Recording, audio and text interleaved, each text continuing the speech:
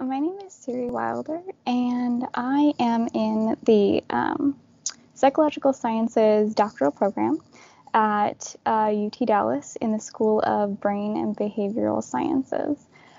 I was immediately drawn to UTD when I got there for my interview. It was the first time I'd ever been in Texas, um, and it was amazing. I mean, everyone I met was warm and inviting and welcoming and I loved all the conversations I had and when I had my interview with um, Dr. Prager, who's now my advisor, um, I just felt like we immediately clicked.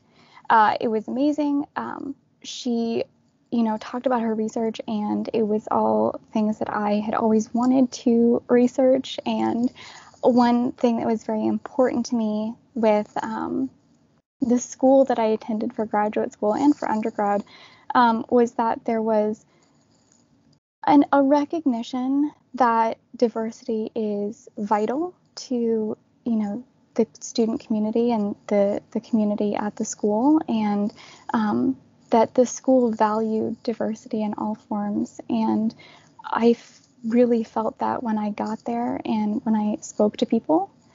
Um, so I knew I had to attend UTD.